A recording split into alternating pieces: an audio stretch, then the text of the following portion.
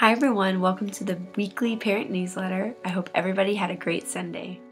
The VBS Interest Volunteer Meeting is this Sunday, April 28th, following the church service. So, roughly 12:15, lunch will be provided.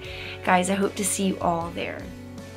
This Sunday is Share-a-thon, so we will have volunteers teaching the kids. So just make sure that you're aware of that. I will be there um, to answer any questions that you may have. I just won't be back there with the kids. If your children have any upcoming events that are unrelated to church that they may be interested in having me come to, feel free to communicate those to me because I would love to show up and support the kids outside of church functions. I just think that's so great and it honestly it's just super exciting for me to attend. So be sure to relay the information to me if you would like to. I'd be more than happy to attend. The weekly verse is out of 1 Kings chapter 15 and it's verse 11. Asa did what was right in the eyes of the Lord.